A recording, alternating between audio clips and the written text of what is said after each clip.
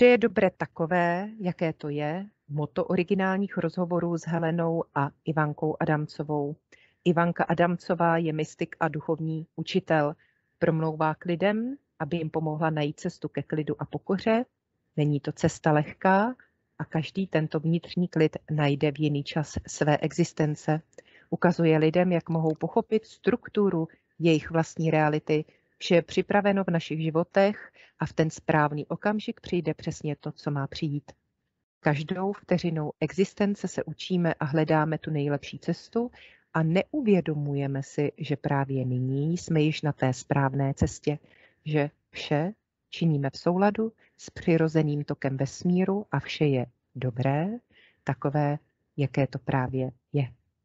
E, navazujeme na předchozí rozhovory Není cesty zpět, o konkurenci, boji, spolupráci, pak o smrti a odcházení a dnes si budeme povídat o jednotě. E, moje osobní zkušenost je taková, když jsou věci v jednotě, plynou a člověk najednou pocítí opravdu skutečnou blaženost a vděčnost a soulad. Ivanko, řekni mi, jak nastolit jednotu, co to vlastně je jednota. A vlastně já tady mám dneska jenom několik málo otázek a já je možná vyřknu najednou, protože eh, ono to všechno spolu souvisí. Mám pocit, že ten svět se stále sám se sebou hrozně hádá. Tak co? Co ty na jednotu?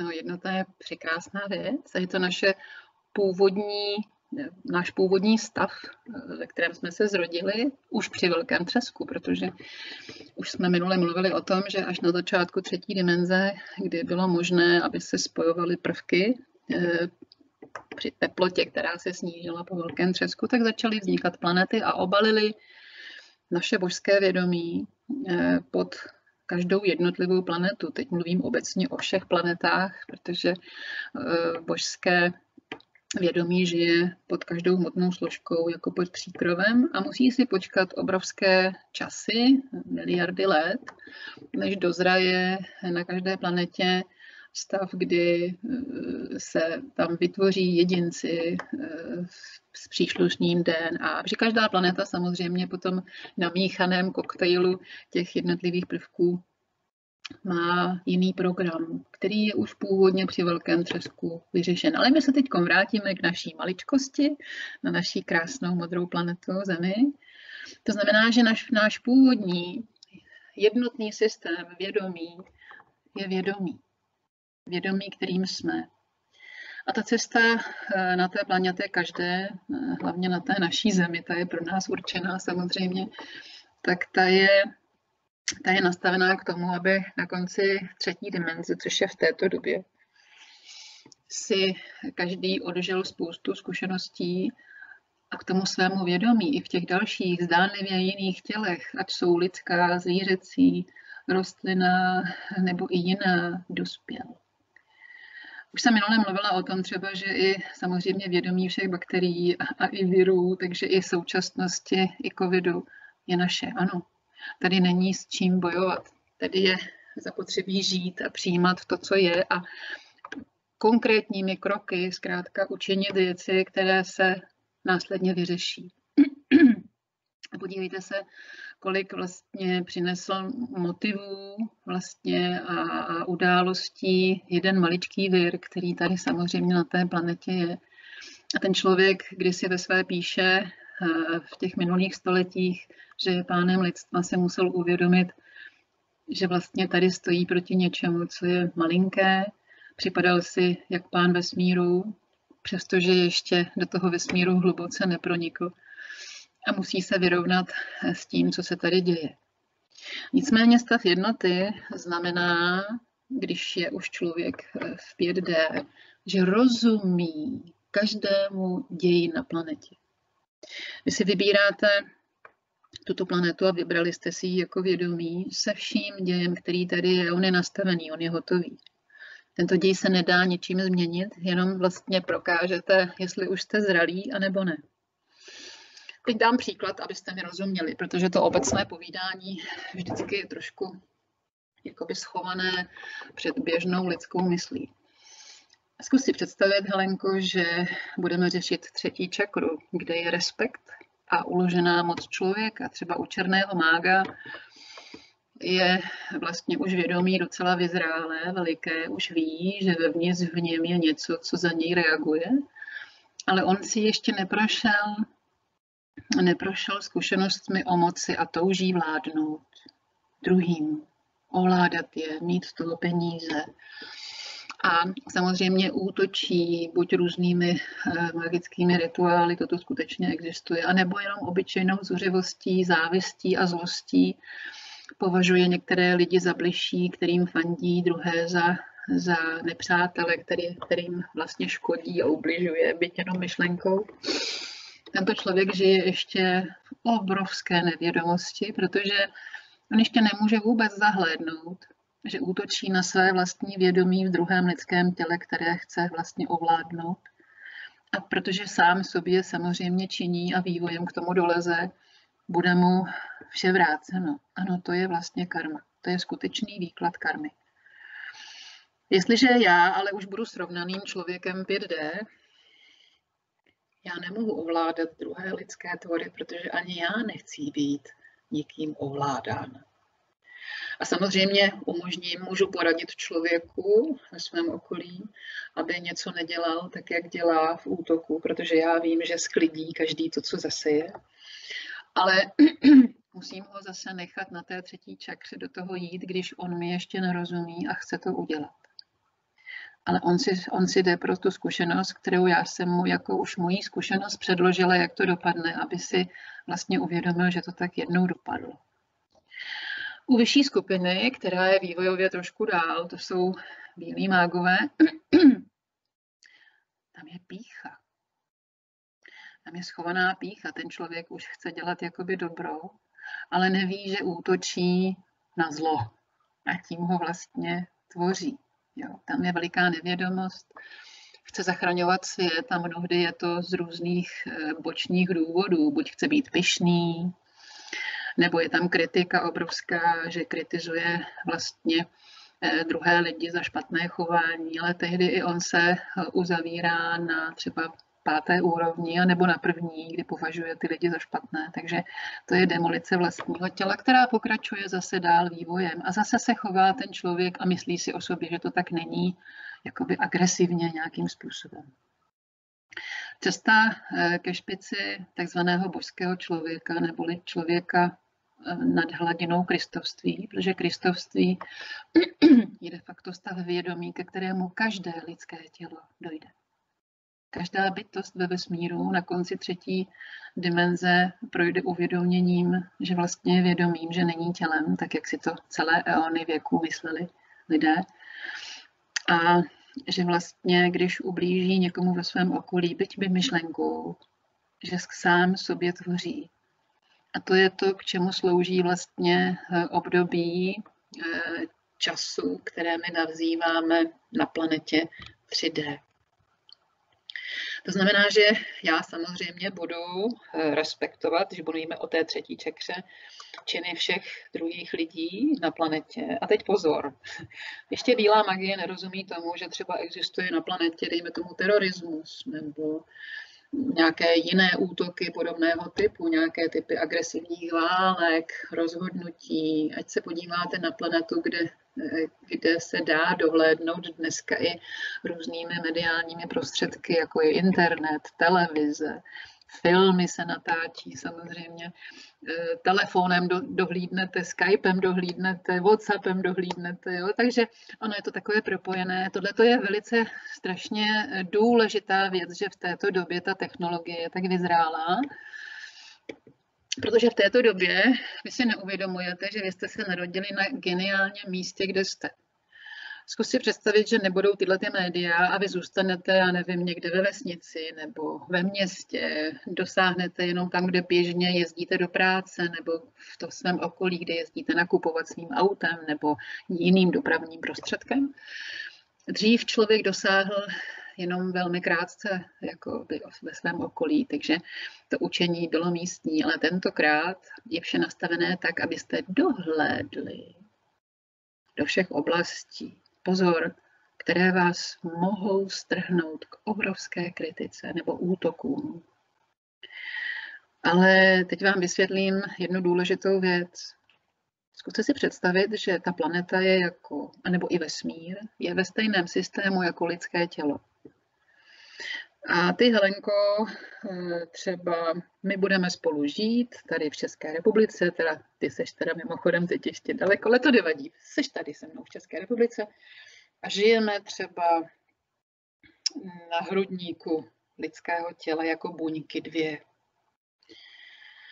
A dejme tomu eh, Arábie nebo státy, ve kterých se bojuje a dějí se tam strašný dramata, nebo třeba Korea, dejme tomu, bude na rameni. Jo. Bílej mák, který bude žít takhle v klidu, dejme tomu v České republice vedle nás, bude meditovat a myšlenkama ovládat eh, a posílat tam jakoby lásku, když láska se nedá posílat. Bílej mák neumí milovat, protože bílej mák neví, že negativní emoce, to znamená chtění změnit něco násilím a kritikou vlastně toho, že se děje, tak to je stav nelásky. Láska je stav bez negativní emoce. Takže oni si jen myslí, že posílají svoji lásku, ale vytváří obrovský odpor, kterým poškozují planetu v místě, kde se nedějí války. Oni vlastně válčí v tom a, a představují si ve svých meditačních jakoby praxích, že pomáhají planetě. Ne, tam vypouštějí ty své kyseliny, těch svých odporů, kritik, vztahovek, to znamená vadím, že někde se bojuje. Jenže pozor, vědomí v lidských tělech, které jsou přítomny na tom rameni, kde se tam bojuje, je tam ta válka nebo nějaká ta negativní věc, tak přítomní se tam narodili a oni to potřebují prožít. Právě proto tam jsou. A jestliže někdo pochopí z nich v tom válečném vztahu, že to tak nemá být, tak on bude z toho automaticky vyhoštěn, osud ho odvede jiným, jiným směrem, aby de facto si, si osvobodil, protože on svým přístupem se osvobodil sám. Tady vidíte, že každý sám za sebe musí dozrát a v uvozovkách se zachránit. Takže stavy bílých mágů, těch, co zachraňují, tam je ještě pícha pro to, aby se předvedli. A oni potom zjistí ve svých osudech, že ten osud je velmi stisknul, protože každý směřuje ke hladině kristovství a k pochopení vlastně kým je. Ale tady ještě útočíte. A Sjednocené vědomí znamená, že rozumíš i těm bílým mágům, i těm černým, protože si tím prošel, i všem těm hladinám, které jsou ještě pod těmi magickými stavy, kdy ještě nevíte, že to božství žije ve vás, hledáte ho ve vnějším prostoru a toužíte po něm, nebo se ho bojíte. Někteří ho i proklínají, už jsme o tom minule vlastně Helenko mluvili, že někteří zvědají pěst, jak to, že ten Bůh to může dopustit a přitom neví, že hmota sama zvedá pěst a e, snaží se vám zabránit pochopení, že vy jste tím božstvím, že máte přestat poslouchat tyhle útočné e, řeči, které jsou nahrány v hmotné složce vašeho vývoje, vašeho těla. Tak. Ano, já, já já jsem, uh, víš, um, ono jít do podrobnosti, uh, která souvisí s tou dnešní dobou, to znamená nosit roušky, nenosit roušky, uh, očkovat a neočkovat, cestovat a necestovat, mít za sebou uhlíkovou stopu nebo nemít za sebou uhlíkovou stopu, mm-hmm křičet na barikádě, já mám pravdu a ty ji nemáš, ty jsi chytrý, ty jsi hloupý. Já to hodně pozoruju a vlastně nevycházím z údivu. Ano, to je tvoření vlastně těch negativ, ano, ano, přesně tak. Protože mám pocit, já tomu rozumím, ale eh, ono se mě to týká, ale vlastně se mě to jako vůbec netýká. Já eh, skutečně žiju v tom svém světě, ve kterém se snažím o jakoby soulad a harmonii a e, věci, které mi dávají smysl a také jsem pochopila, že nemohu lidi přesvědčovat o svém. Výborně, ano. Ale lidé, kteří Helenko bouří, to ještě neví. Jo. To jsou ty revolucionáři. Ano, ve své době byli třeba, dejme tomu, nejvyšší jednotkou, když tady ještě nebyla žádná hladina pokory a těch osvícenců tady bylo opravdu velmi málo. Ale dnes je takzvaný druhý příchod Krista, to znamená, že dnes zhruba 8 eh, populace planety dozraje do tohoto vědomí.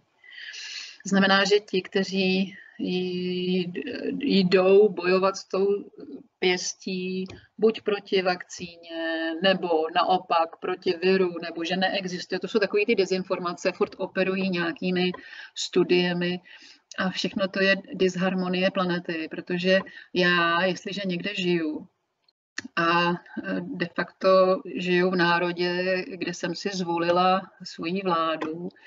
A pozor, i když nejdeš k volbám, tak si ji volíš, jako jo, protože to je rozdělení hlasů. Jo. Takže každý, i ten, kdo nebyl u voleb, si zvolil vlastně to, co se tady odehrává. A ta vláda má právo protože tady takový systém máme samozřejmě, nás vlastně nějakým způsobem upravit, protože oni vědí do všech těch koutů nejvíc.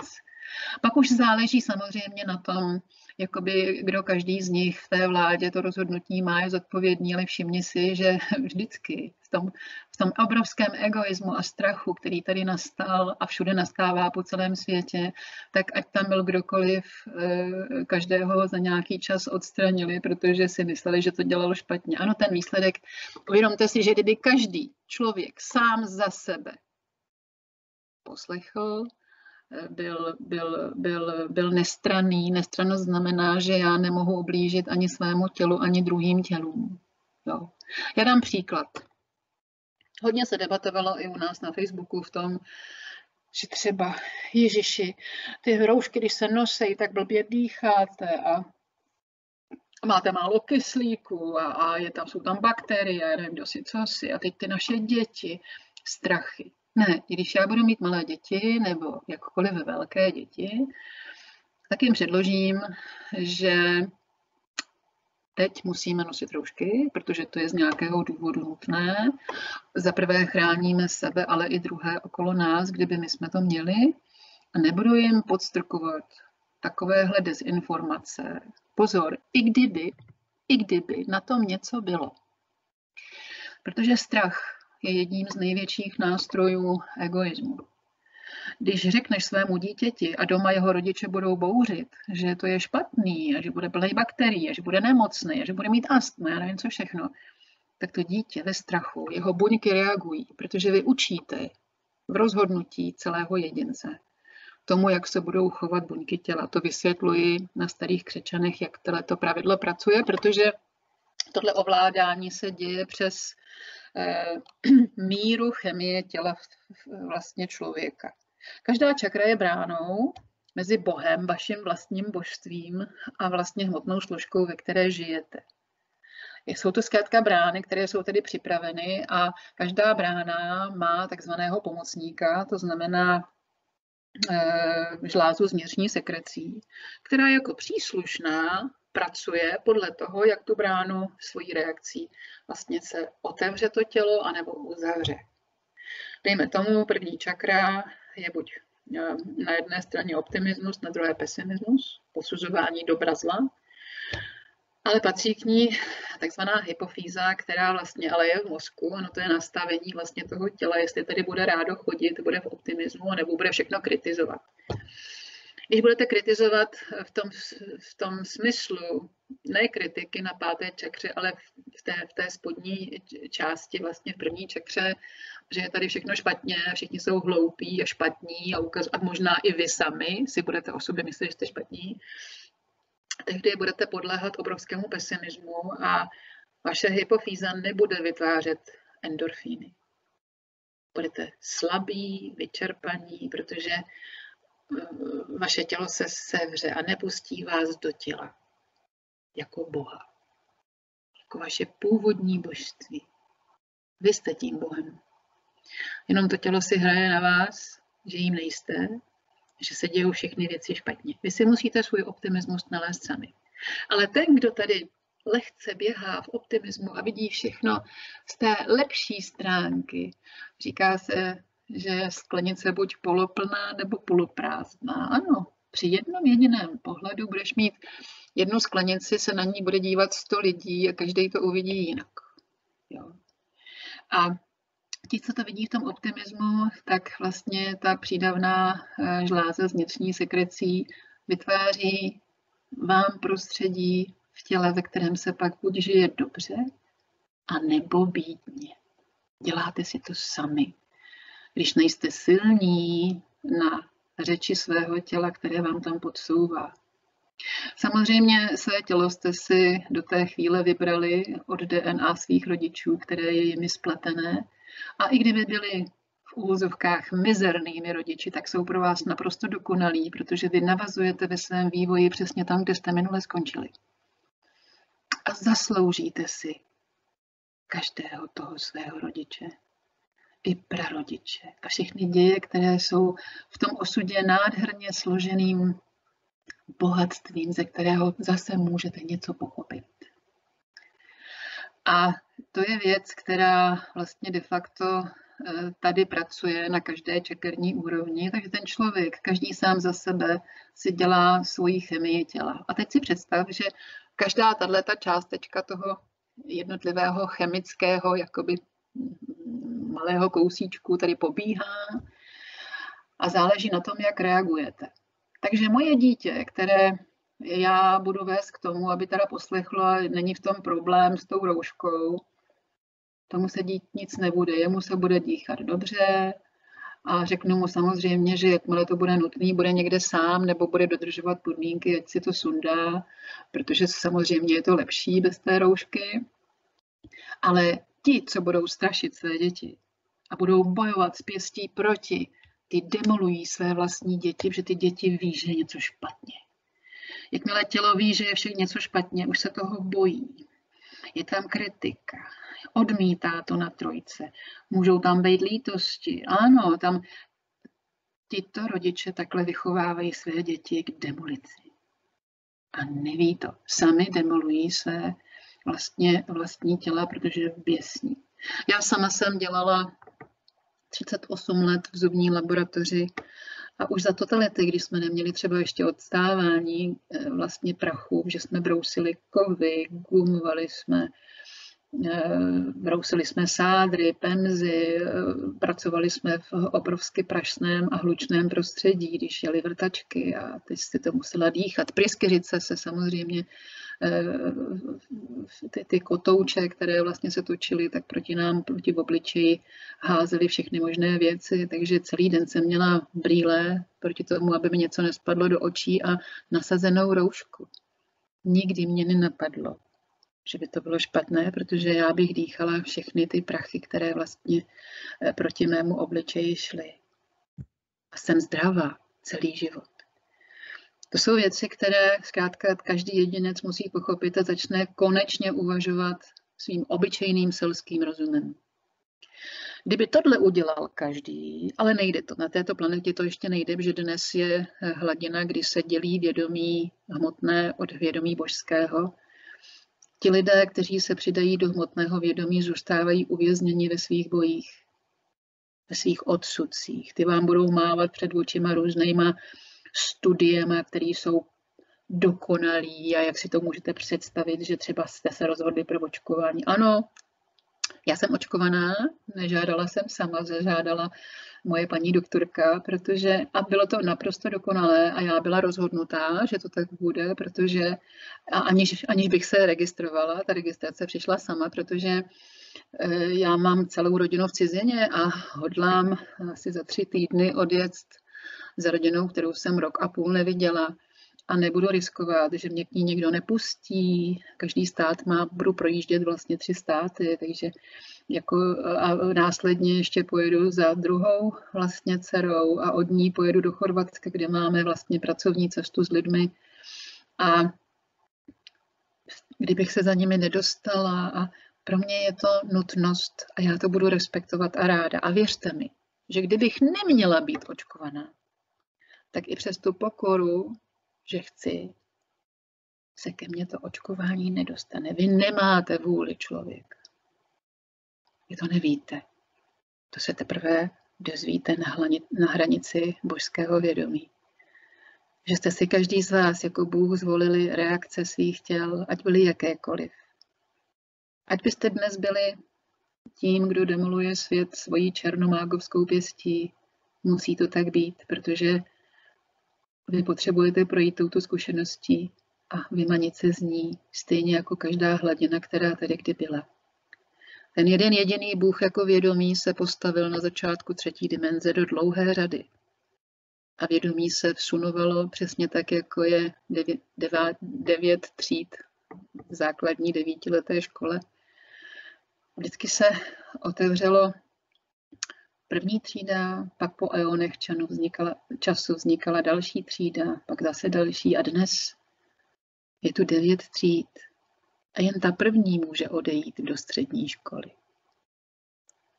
A jenom ti z té poslední třídy mě budou stoprocentně rozumět. Ostatní budou bouřit a tvrdit, že Iva nemá pravdu. A oni tu svoji pravdu skutečnou mají. To je můj respekt na třetí čakře, protože oni ještě neprošli zkušenostmi, aby i vyrozuměli. Já je miluju, musím jim to umožnit. Takže tohle to je stav jednoty vědomí, Hlenko, kdy ty víš, že oni mají všichni svoji pravdu a musí si jít pro své zkušenosti a nejsou pro mě špatní. Je to jako kdybych z deváté třídy koukala na osmičky, sedmičky, šestky, až do první třídy a říkala bych si, že jsou horší. To není pravda. V nich žije stejné vědomí, jenom se narodili a vstoupili do učení planety o pár tisíců let zpět. A oni si potřebují tím projít. A mnozí ten, dneska, když já jsem, vlastně já se na ně koukám, tak třeba dělají mnohem pokročilejší věci, než já v té první, druhé, třetí, čtvrté, páté třídě dělala. A to je jednota, kdy jim rozumíš. Ty víš, že na ní zapotřebí, aby tě obdivovali. Není co, protože i oni se jednou doplazí ve svých osudech do stavu vědomí svého původního božství, který je tady připraven. Vždycky tady ten Bůh byl. V každém lidském těle je obrovské štěstí, které je přikryto bouřící hmotnou složkou, která vám dává zapomenout, kým jste byli. Ale ta hmotná složka slábne. Sama od sebe se zeslabuje a i když někdy si myslíte, že prožíváte dramata, ne, nikdy jste netrpěli, to vám podvrhuje tělo vašeho jména. Stačí, když kývnete, ano, souhlasím s tím, co se děje, protože s tím nic neudělám. A pak se vše obrátí. Ale tohle musíte dokázat vy sami. Já jsem, uh, včera byl uh, Den matek, viď? Ano. A ty tady mluvíš o té třídě a o škole a já jsem taky měla včera zážitek, protože William, Williamovi dneska přesně je tři a půl roku. Mm-hmm. a, a uh, tak uh, člověk vy, vychovává nevýchovou vlastně, protože chci, aby se rozvíjel ano.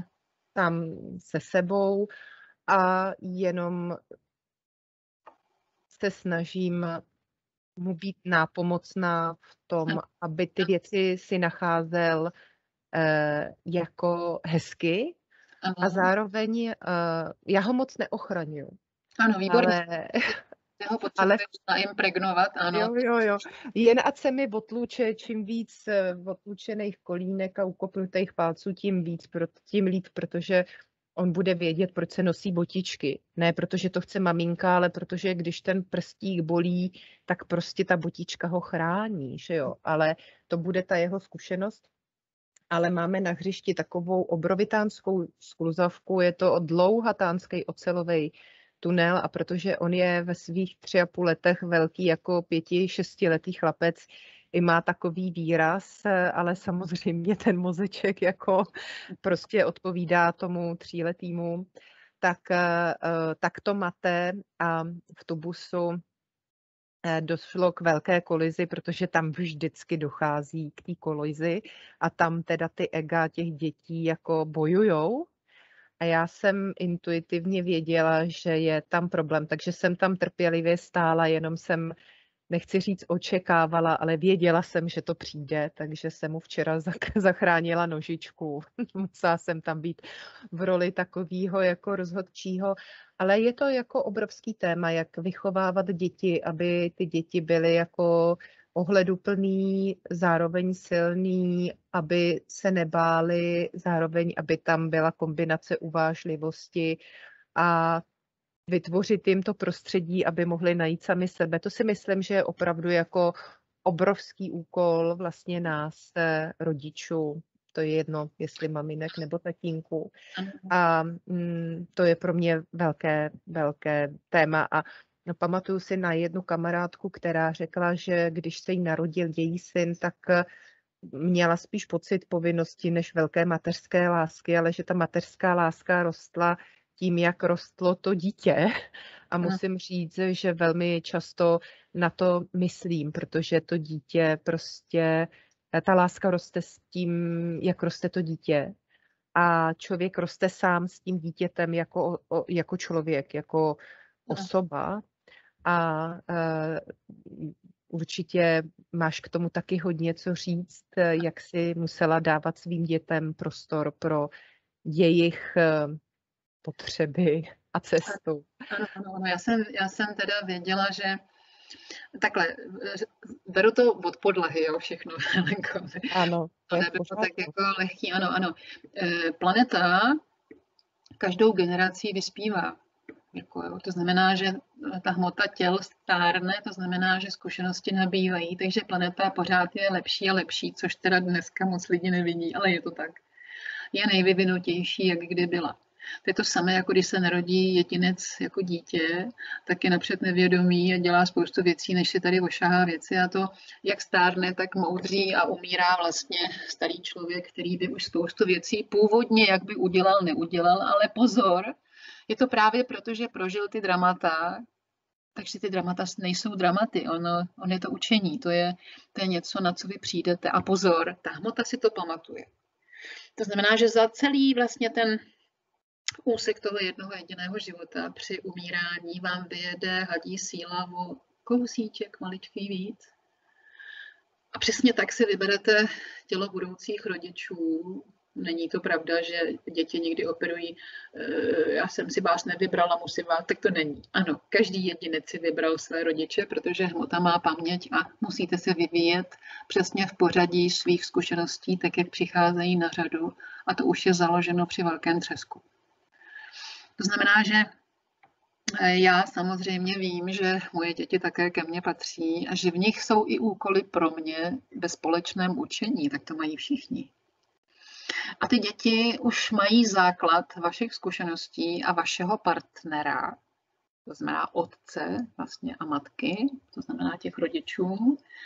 A je pro ten život nastaveno, co z každého toho rodiče si ten člověk vybere je naprosto geniální. To znamená, že já, když dneska budu dělat egoizmy a budu vychovávat svoje děti, tak já budu pak sklízet z toho jejich chování, co jsem ho naučila pro sebe, svoje teda kapky a rány pěstí, který jsem si zasloužil, protože jsem je to naučil. Ale hlavně tady jde i o to, že vy tady dlouho nebudete. Praxe je taková, že starší člověk umírá dřív než ten mladší, i když existují výjimky samozřejmě, ale takže já své dítě z egoistických důvodů, aby na mě bylo závislé a nic se mu nestalo a furt ho budu oprašovat. Protože ono se mi něco může stát, vy to nevíte. Vy to víte jako bohové, ale nevidí, nevíte to jako hmotná složka s egem. Takže já své dítě už z principu nebudu na sebe navazovat a žádlit na všechny příchozí druhé, který mi ho chtějí odvést. A já jsem byla taková zdánlivě paradoxní matka, protože když moje děti odjížděly do školy v přírodě, tak Já jsem byla šťastná, mávala jsem a šťastná jsem byla, když přijeli, ale ty maminky, které brečely pod oknem a, a ty děti za, za, za, za těma sklama přitisknutý nosama a s, s rozpláclejma ručičkama na skle ze zoufalství a teď, teď mývali takový ty různý myšáky a plišáky a mončičáky a, a aby jim to připomínalo ty rodiče. Někteří ty rodiče si tam pěstují tu závislost těch dětí a bojují eh, mezi sebou i o lásku. Tohle jsem věděla, že je šílený egoismus, který svoje děti v životě nenaučím. Já jsem je milovala obrovsky a právě protože jsem je milovala, tak jsem je musela naučit. Ale pozor, nenaučíte své dítě pravidlům morálky, když o nich budete mluvit a sami je nebudete dělat, protože děti jsou velmi bystré. Jestliže já budu hlásat, hlásat vodu a budu pít víno, tak nenaučím své děti, co je zapotřebí. A já jsem dělala pro své děti nádhernou věc, kdy já jsem teda každou noc pracovala do dvou, do tří do rána.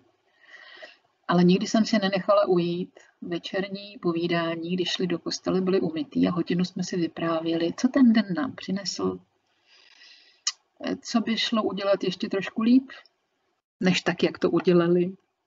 Nikdy jsem je nekárala za nějaké věci, ale to bylo překrásný večerní vždycky povídání, které jsme měli, vyprávěli jsme se, nasmáli jsme se obrovsky. A pak jsem teprve eh, vlastně odcházela dolů a jim se dobře usínalo, protože oni měli i téma k přemýšlení a já jsem je nepohanila, ne, neodsoudila, kdyby byly jakékoliv problémy, oni se na to museli přijít sami. Když potom v 17 obě odcházeli do, do světa, jsem nikdy neměla strach, že se jim něco stane, protože jsem věděla, že moje děti ví, že když budou milovat svět, tak ten svět jim nic neudělá. Pozor, milovat znamená na každé čekerní soustavě neútočit na něj ničím. A naopak, když podlehnou, tak sami sobě dali dardu a zaslouží si to a já je nebudu litovat. Já jsem vypustila dvě, byť na půl děti do světa o které jsem se nikdy nebála, protože jsem věděla, že jsou připravené. A nikdy nesklamali. Jsou to obě obrovsky čisté, nádherné bytosti. A samozřejmě učí se dál, ten vývoj jde samozřejmě dál. A to je to, co mnozí lidé nepochopí. Jsou lidé, kterým dítě chce odejít, já nevím, do Ameriky na studium, do Anglie na studium a oni tady brečí a stejská se jim a mordujou se. I tím budete mordovat svoje děti. Kdybych já tady v Čechách plakala, tak mý děti budou vědět, že jsem nešťastná a nemohou být šťastný ve svém životním prostředí, které si vybrali.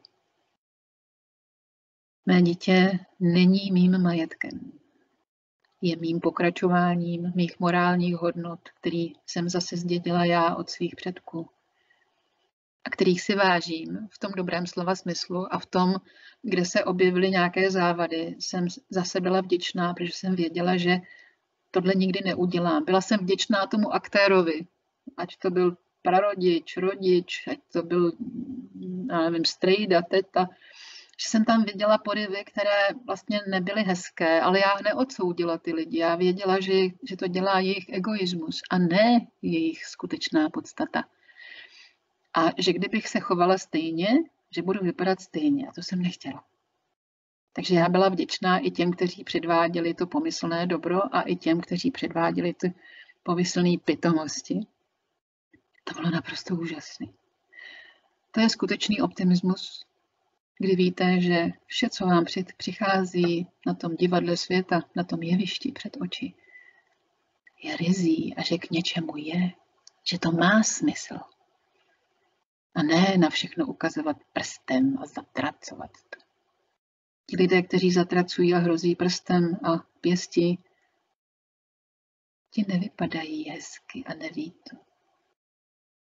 Jsou demolující, destruující Nejen sebe, ale i své okolí, které strhnou k sobě. Ale ještě tady je hodně tříd, které čekají na pochopení. Těm lidem dojede jejich vlastní osud, tak jak má, protože my tady každý máme svůj knot dlouhý, tak jak jsme si nastavili. A je jedno, jestli zemřeme v osmi letech, anebo ve 108 letech. A nikdo to neovlivní. Ani zdravá strava, ani, ani eh, nějaký přípravky, ani očkování nebo ani neočkování. Zkrátka vše je hotové a nastavené. To znamená, že já si tady ten čas užiju ve své spokojenosti s tím, co mám a nebudu toužit po věcech, které mi dnes nejsou dopřány. Protože pozor, oni mi ve skutečnosti dopřány jsou. Jestliže já jsem jednotné vědomí, tak i já jsem ti, kteří mají mnohem víc a mají mnohem méně. Mají své šťastné osudy i své nešťastné osudy, takže je to pro mě všechno k dispozici. Ale můj díl těla, který jsem si vybrala se jménem Iva, ten má přesně to k dokonalosti svému žití, to, co má mít a potřebuje ho. A to si teda užiju plnými důšky. Ivanko, já ti nesmírně děkuju. Eh, povídání o jednotě, myslím, by mohlo být opravdu na další hodinu, dvě nebo tři, ale my objevíme, že je vše dobré, jaké to je, že teď je dobré si říct eh, a popřát eh, nám všem a všem posluchačům krásný den a pojďme být v souladu a nehádat se. A koho zajímá a chtěl by si poslechnout další archivní přednášky či otázky a odpovědi Ivanky Adamcové, tak se podívejte na vida.eo na webové stránce www.statekslunečnice.cz vida.eo či volně přístupné archivní přednášky. Eh, moc krát děkuju. Ivanko, krásný den. Krásný den a děkuji za pozvání a těším se zase na příště, Helenko. Děkuji, já taky.